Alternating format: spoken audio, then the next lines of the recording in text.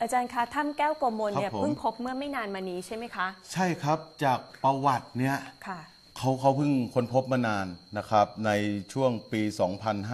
2536 เนี่ยค่ะ นะครับในช่างสนั่นเนี่ยในช่างสนั่นเขาเป็นในช่างประจำอยู่ที่แม่ห้องสอนค่ะ นะครับ แกมาตรวจเหมือง แล้วก็แกพบว่าบริเวณที่นี่เนี่ยนะครับนะครับ มีห้องถ้ำเนี่ยนะครับ ซึ่งประกอบไปด้วยแร่แคลไซต์ค่ะ นะครับซึ่งอยู่มีกความสวยงาม ซึ่งมีความสวยงามมากนะครับ นั่นคือปี 2536 ค่ะ นะครับ ถ้าจากประวัติของของเขาค่ะแล้วก็หลังจากนั้นเนี่ยนะครับเขาก็ทำเรื่องจนกระทั่งเนี่ยปี 2544 เนี่ยนะสมเด็จพระนางเจ้า พระบรมพระบรมราชินีนาถเนี่ยได้เสด็จมานะครับ แล้วก็พระราชทาน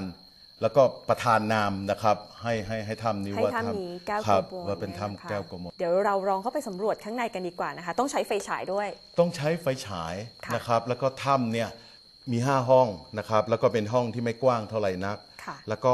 ยิ่งห้องลึกๆเนี่ยอุณหภูมิจะร้อนนะครับ แล้วห้องจะแคบแล้วก็อากาศหายใจเนี่ย